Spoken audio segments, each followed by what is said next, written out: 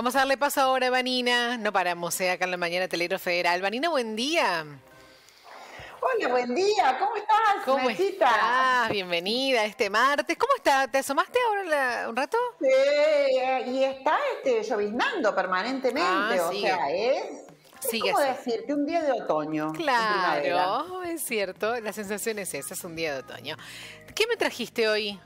Mira, hoy algo que linda con el terreno de Cococho o de Juan Mario.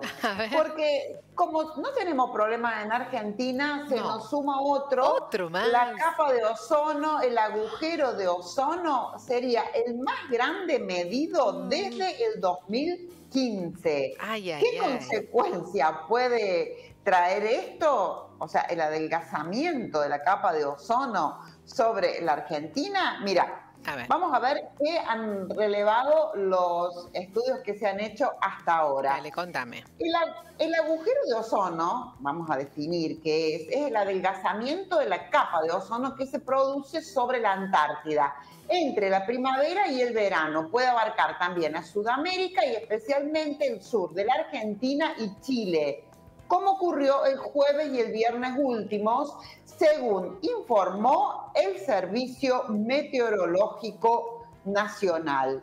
Se sospecha que el agujero de ozono de 2023 podría ser el más grande desde 2015.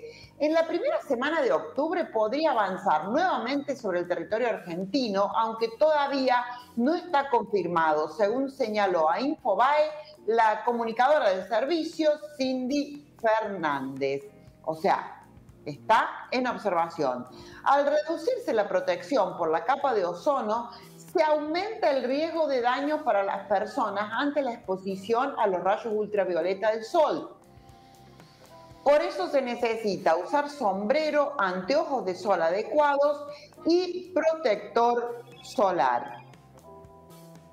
De acuerdo con el Servicio de Vigilancia de la Atmósfera de Copérnicus de la Unión Europea, el agujero de ozono antártico de 2023 ha tenido un comienzo temprano. El seguimiento permitió detectar un desarrollo más temprano la media en agosto de 2023 y alcanzó rápidamente un área de más de 16 millones de kilómetros a partir del 29 de agosto. La columna total de ozono se expresa habitualmente en unidades Dobson. Cuando esos valores están por debajo de las 220 unidades, se habla de la presencia de agujero de ozono. Se le llama así porque en las imágenes satelitales el área se ve de forma circular. Cuando el área del agujero aumenta el extremo sur de Sudamérica, puede quedar bajo la influencia de masas de aire pobres en ozono provenientes de la Antártida. Los valores mínimos de la columna de ozono han sido inferiores al promedio durante gran parte de julio y agosto, pero ahora están volviendo a valores más típicos a medida que aumenta el área de agujero de ozono. O sea, esto es una foto de lo que está ocurriendo ahora y el seguimiento que está realizando el servicio meteorológico. Sí, y uno no es Pero- consciente. Viste que uno no es consciente de, de lo que significa eso. Vos lo leís, lo decís, ah, y, pero es peligrosísimo. Y sí, lo que pasa es que tenemos otros problemas, Claro, sí. como cómo lograr que alcance el, el sueldo, cómo llegar a fin de mes. Entonces, viste, ese tipo de problemas pasan a otro plano. Pero es como decís vos, un, un tema de salud y Claro, de medio ambiente. Es de salud. Es de salud, tal cual. Y, y uno además no, no adquiere la protección que corresponde, ¿viste? Todo el- bueno, ya, sa- ya sabemos lo que pasa con el sol y los Sí. rayos y todo eso. Pero bueno, las para, consecuencias se ven de acá a un tiempo. sí, por eso es, es importante que lo cuentes para que lo sepamos.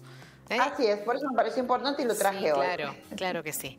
Mani, te mando un beso enorme. Otro, chao, chao, nos vemos. Hasta mañana.